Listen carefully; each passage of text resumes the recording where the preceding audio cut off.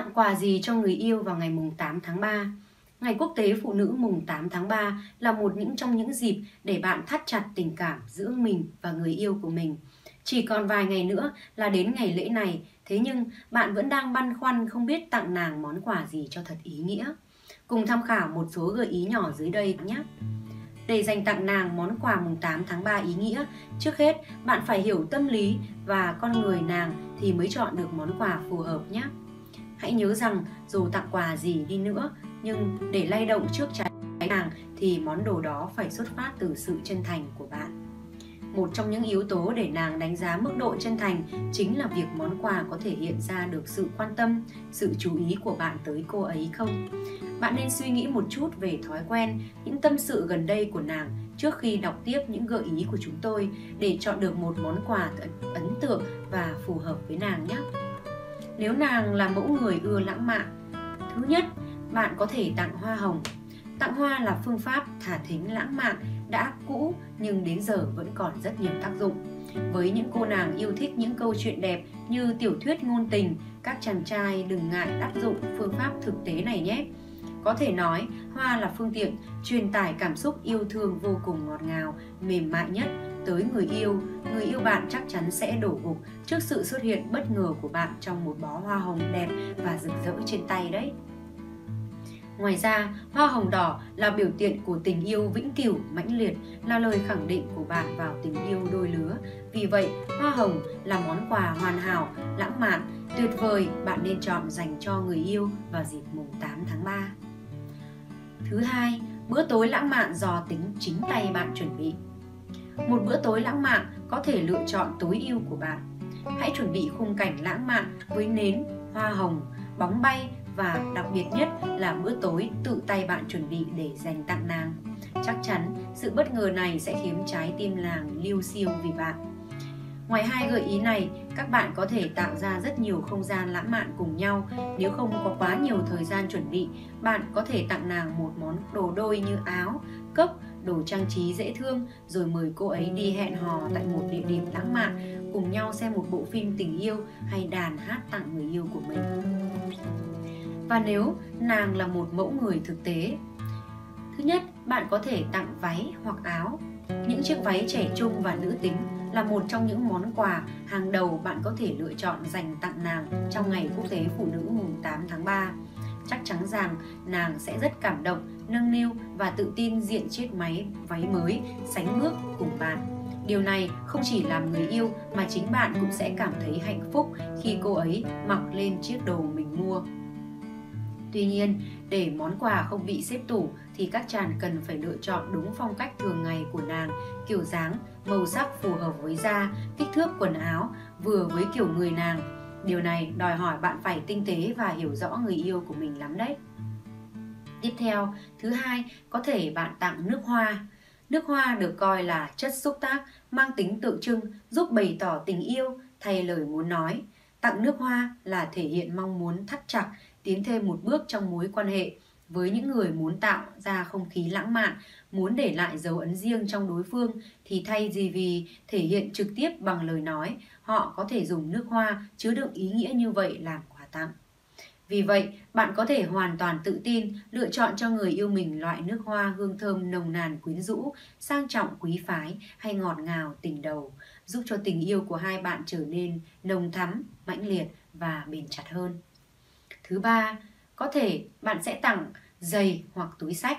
Bên cạnh chiếc váy nữ tính hay lọ nước hoa quyến rũ thì những đôi giày thời trang, túi sách phong cách cũng khiến các nàng mê mẩn trong ngày 8 tháng 3.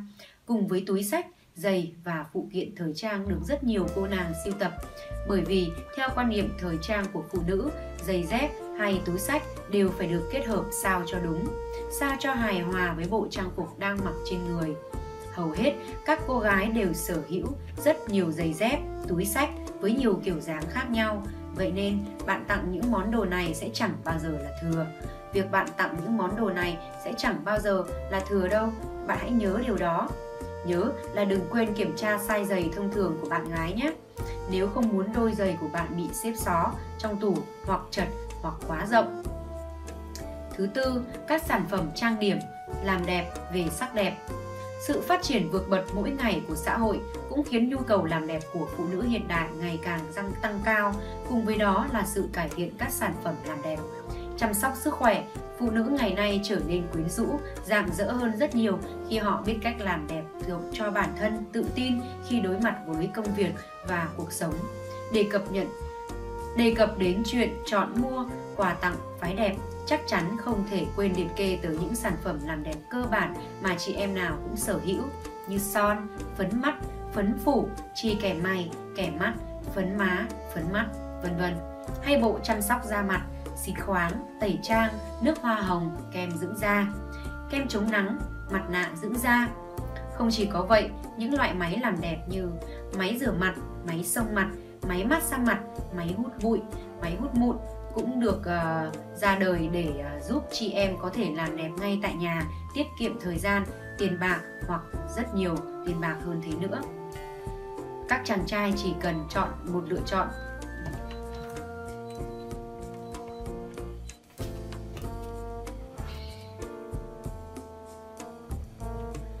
các chàng trai chỉ cần lựa chọn một trong những mặt hàng kể trên đây để làm quà tặng thì đều đánh trúng tâm lý của bạn gái rồi. Tuy nhiên, chọn mỹ phẩm cũng cần chú ý một số vấn đề về tính chất da, khuôn mặt, phong cách trang điểm của nàng. Tốt nhất, bạn nên tìm hiểu sự trợ giúp của bạn bè hoặc nhân viên tư vấn để đảm bảo chọn đúng sản phẩm phù hợp với người yêu của mình. Thứ năm, đồng hồ đeo tay, đồng hồ thông minh. Giữa hàng trăm ý tưởng quà tặng quen thuộc, nhiều người dừng lại trước đồng hồ. Một chiếc đồng hồ tầm trung uh, tùy đắt đỏ nhưng loại trang sức đính đá, ngọc trai nhưng vẫn là một món phụ kiện sang trọng có thể được sử dụng lâu dài. Không những thế, chúng là công cụ giúp bạn gái quản lý thời gian hiệu quả, sắp xếp công việc và các à, deadline một cách khoa học tặng đồng hồ nữ cho người yêu còn là một hình thức tao trao niềm tin, gửi gắm thông điệp rằng tình yêu của anh và em sẽ bền chặt, bền vững mãi như chiếc đồng hồ mãi trường tồn với thời gian. Ngoài chiếc đồng hồ truyền thống, bạn có thể thử xem tới các chiếc đồng hồ thông minh, một sản phẩm phát triển của thời đại công nghệ số. Đồng hồ thông minh có rất nhiều chức năng tiện ích, không chỉ cập nhật các thông tin thời tiết, ngày giờ mà còn có thể liên kết với điện thoại để thể hiện cuộc báo cuộc gọi tin nhắn. Ngoài ra, chúng ta còn gọi là vòng tay sức khỏe thông minh khi có khả năng theo dõi các chỉ số sức khỏe, chỉ số vận động của người sử dụng, tổng kết, báo cáo đánh giá mỗi tuần. Nếu nàng thuộc uh, mẫu người cá tính, nếu nàng thuộc mẫu người cá tính thì những món quà truyền thống mùng 8 tháng 3 như hoa, váy, nước hoa sẽ không nhiều ý nghĩa với những cô nàng cá tính. Giá trị của món quà không quan trọng mà điều đặc biệt là mức độ độc đáo. Muốn gây ấn tượng với mẫu người cá tính, bạn cũng tìm hiểu qua về sở thích, phong cách của người ấy. Chọn theo sở thích là điểm mấu chốt để gây ấn tượng bởi họ, bởi vì à, thực chất cái những cô nàng này cần là một người hiểu thấu cho sự cá tính, sự khác biệt của mình. Thứ nhất là bảng và vẽ điện tử. Cô gái của bạn là một người vô cùng có hứng thú và tài năng mỹ thuật. Thật dễ dàng để lựa chọn quà mùng 8 tháng 3 cho cô ấy khi bạn đã có thêm rất nhiều lựa chọn. Các cô gái ngành mỹ thuật đều dành hết sự yêu thích, đam mê với màu vẽ, những công cụ hỗ trợ vẽ. Đặc biệt, có rất nhiều nàng ôm mộng sở hữu một chiếc bảng vẽ điện tử đó. Bảng vẽ điện tử là gì? Bảng vẽ điện tử hay còn gọi là bảng vẽ cảm ứng là một thiết bị hỗ trợ người dùng vẽ, thiết kế, chỉnh sửa trực tiếp hoặc chuyển đổi file dạng giấy truyền thống thành file digital để phục vụ cho học tập, giải trí, công việc, thiết kế đồ họa. Bảng vẽ điện tử có kích thước nhỏ gọn, giúp nàng mang theo khắp mọi nơi để vẽ, để làm việc. Ngày nay, các chị em phụ nữ chơi game đã không còn là trường hợp hiếm gặp nữa. Bạn chắc chắn sẽ rất vui mừng khi có một chiến hữu cùng mình xông pha mọi mặt trận. Không những thế, cô ấy cũng sẽ là người vô cùng hiểu thấu bạn trong những lần mải game quên người yêu nữa đấy. Để đồng đội cứng của mình chơi game vui hơn, đừng quên nâng cấp màn tính của bạn nhé. À, bạn có thể bắt đầu từ việc mua cho cô ấy một tai nghe mới, bàn phím hay chuột chơi game tốt. Nếu có điều kiện hơn, có thể nâng cấp tới màn hình hay cạc máy tính. Đó là tùy thuộc vào khả năng kinh tế của bạn.